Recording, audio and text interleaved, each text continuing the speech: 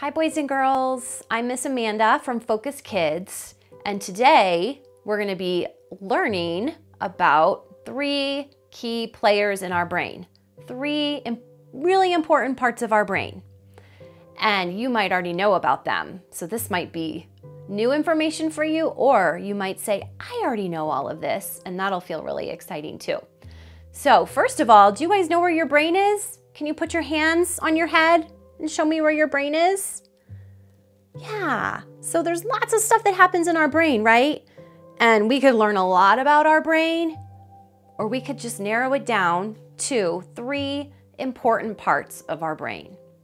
So, our first part of our brain that we're going to learn about today is our amygdala.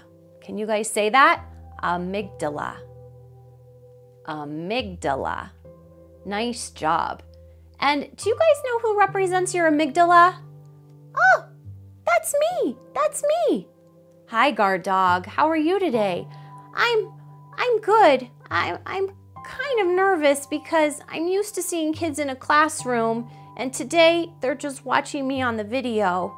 But I'm still really happy to be with you guys today. And so I want to teach you about my job in your brain. So let's practice my brain name again. Are you ready? Okay, here we go. Amygdala. Can you say that? Amygdala. Good job. Oh, let's clap it. Here we go. Amygdala. Oh, good. One more time. Amygdala. Yeah, that's it. So my job in your brain is to keep you safe and to protect you. Do you guys Ever feel like you, you might be kind of scared or afraid and you need somebody to protect you? That's me. That's my job in your brain. But sometimes you're already safe and you don't need me. But I might be sending you signals that I want to be in charge. I want to take care of you and protect you. And that might come out in being sad or mad or frustrated or scared or alone or embarrassed. And I have a lot of big feelings and a lot of big thoughts, and sometimes they can get in the way of me making good choices.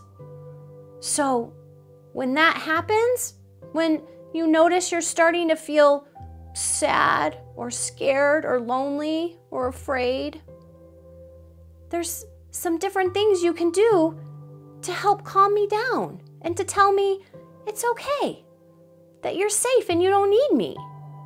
And one of those things you can teach me is taking deep breaths. So when your guard dog is on alert and trying to protect you and keep you safe, but you're already safe. Maybe you're at home with your mom and dad, or you're with your friends, and you don't need your guard dog. And sometimes, guard dog, he wants to just be in charge. So we have to give him signals to help calm him down. So, one of those things we can do is to take a deep breath. Let's try it. Take a deep breath in through your nose and out through your mouth. Good job. Let's do another one. Take a deep breath in through your nose and out through your mouth.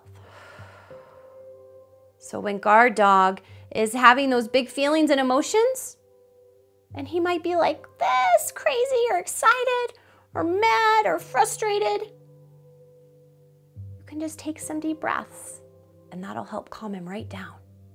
Let's do it again. Take a deep breath in and out. We'll do one more. Deep breath in and out. Do you see how calm guard dog is now? So when guard dog is calm and he's resting, then the next part of our brain that I'm going to teach you guys about can do its job. So I'm going to set guard dog down and I'm going to introduce you to Wise Owl. Can you raise your hand if you've met Wise Owl before, if you recognize Wise Owl? Now, Wise Owl gets kind of shy So if we sit really still and we're really quiet, he might decide to come and join us today. Do you see him starting to turn his eyes? There he is. He's taking a look at each one of you. And Wise Owl has a really big brain name. Wise Owl's brain name is prefrontal cortex. Can you say that? Prefrontal cortex. Good job.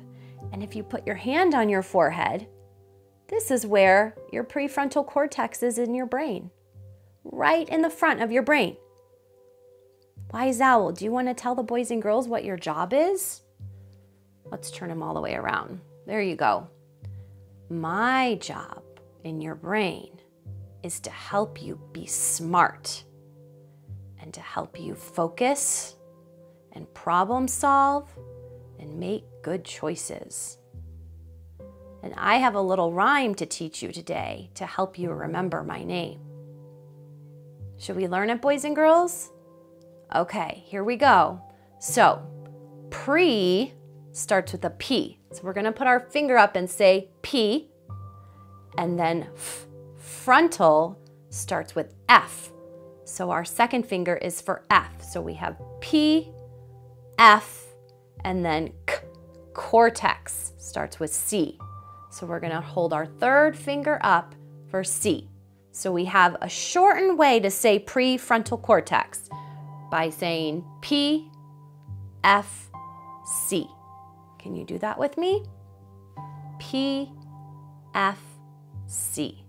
Good job. Okay, so here's our little rhyme. I'll say it and then you say it. P, F, C. Your turn. Follow me. Your turn. I'll make you smart. Your turn. Good job. We'll do that one more time. We'll do it all together. Here we go. P, F, C. Follow me. I'll make you smart. And I put my hand on my forehead when I say that part, I'll make you smart, to help us remember that our prefrontal cortex, our wise owl, is right here in the front of our brain. So remember that when guard dog is nice and calm, like he is right now, when guard dog is calm, we can practice using our smart part of our brain, which will help us make good choices, help us problem solve and think, and do our best learning. Good job, boys and girls. Our third key player in our brain is Miss Elefante. Oh, hi, boys and girls. Hi. Do you remember me? Who remembers me? Who's seen me before? Oh, wow. Some of you remember me? Oh, that makes me so happy. So, do you remember my brain name? My brain name is. Oh, I heard someone say it. Hippocampus. Yay! Let's all say that together. Hippocampus. Yay! Let's do it again. Hippocampus. Yeah, that's my brain name. Oh, I'm so excited that you remembered that name. So, do you remember what my job in your brain is? Hmm, let's think about that. That's right. My job is to remember everything. I remember when you were a baby. I remember even when you were in your mommy's tummy. Can you believe that? I remember all the happy things that happen in your life. And I also remember some of the sad things that happen in your life. But that's okay. So, my job in your brain is to hold all your memories. And when you learn something new, like we're learning a lot of new things right now, when you learn something new, I hold on to that new learning and make it a memory for you. So I'm really important in your brain. And my good friend is Wise Owl. When Wise Owl and I work together, we help you learn, we help you make good choices, we problem solve, and that's the kind of brain we want to grow, right? Yeah. Now, oh, what's that, Wise Owl? Oh, yeah, we're missing somebody, aren't we? So, when we're doing our job, look who's calm. Your guard dog is nice and calm because we don't need him when we're safe and when we're at school, when we're at home learning. But sometimes, oh, what? Did something happen? Do you need me? Do you need me? Guard dog wakes up and he just wants to help. He wants to be in charge. Yeah, I'm here. I'm here. But remember, when we're safe and we're we're taken care of, we don't need guard dog. And sometimes, oh, he just wants to be in charge. And he takes over our wise owl and our Miss Elefante. And do you think that they can do their job when they have this crazy dog on their head? Nope, they sure can't. So, what do we have to do to tell Guard Dog that we're okay? Can you remember something that we can do? That's right. We can take a deep breath, or maybe two or three. Should we try it right now and see what happens to Guard Dog? Okay, here we go. Take a deep breath in and out. He's still there. Let's do another one. Deep breath in and out. That felt really good. Let's do another one. Deep breath in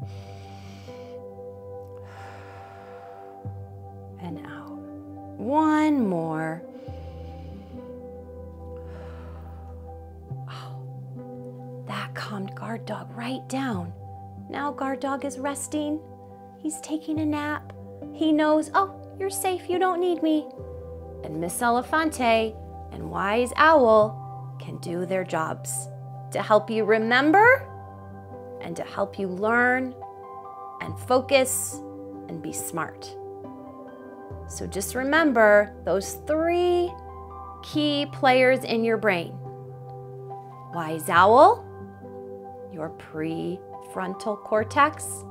And where's your prefrontal cortex? That's right, right here behind your forehead. And Miss Elefante, do you remember what her brain name is?